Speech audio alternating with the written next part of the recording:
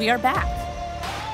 We are back to conferences, we are back to school, back to the office, and most importantly, back to the gym. The vibe here at IHRSA post-COVID has been amazing. To be back in person to see people that I haven't seen in three years, I can't really put words into it. It feels great. It feels like a sense of recovery. I feel like this is the rebirth of fitness. How legends are made.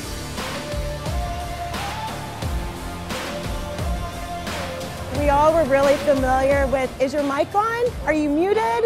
Now you get to be face to face. It's more motivating. I needed to hug people, and, I, and I'm glad to be back doing it.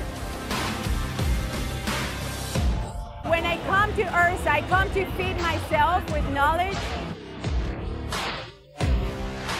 I want to meet partners. I want to meet customers. I corner the experts, I ask a lot of questions, and I try to learn. It's very good to get connections, to understand how the sector is growing. Went through the pandemic, learned a new way to engage in fitness.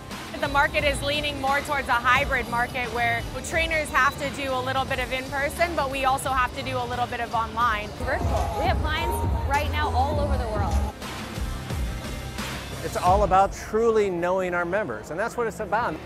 Like iron from the fire, getting stronger.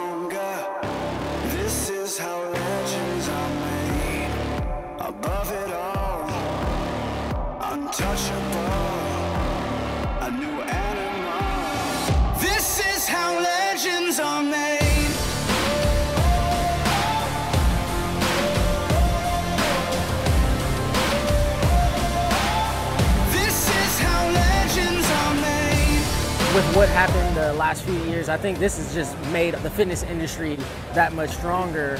People are coming in for community, togetherness. It's about mental well-being. Fitness is about connecting to people. That's what our industry is all about. It's all about people. This is how legends are made.